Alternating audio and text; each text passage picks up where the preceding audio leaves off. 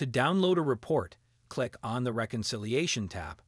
In the Final Conclusion subtab, select the report type you would like to download.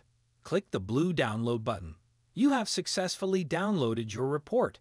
The company has been successfully created